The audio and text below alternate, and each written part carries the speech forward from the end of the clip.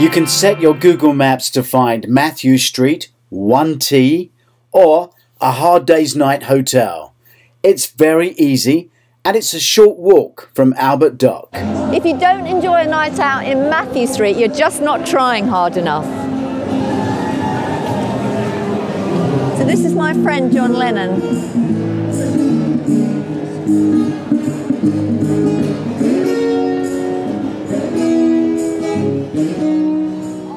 This is the original entrance to the Cavern Club, and here's another Liverpool icon, Cilla Black, and she used to work in the cloakroom.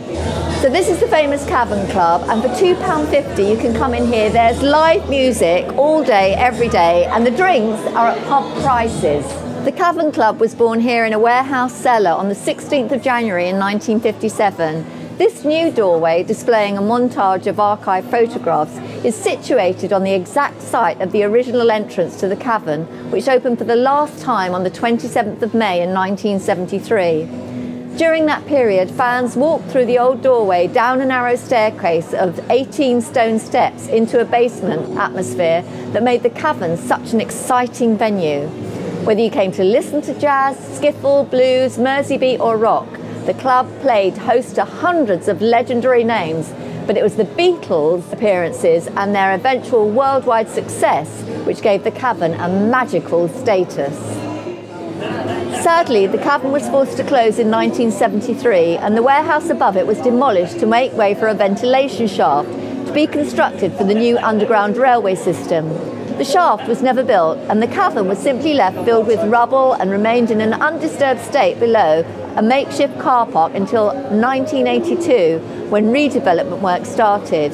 The club reopened on the 25th of April 1984 and since then has reasserted itself as a contemporary live music venue and has opened its doors to bands such as Oasis, The Coral and Arctic Monkeys. The club remains as a global destination and the ultimate place of pilgrimage for Beatles fans.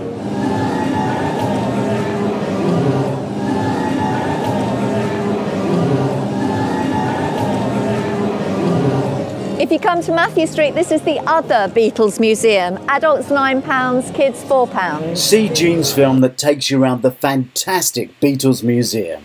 And we have other guides of Liverpool. But the Beatles story doesn't end there. Jump in at the Hamburg section of Doris Visits and continue with the Beatles story.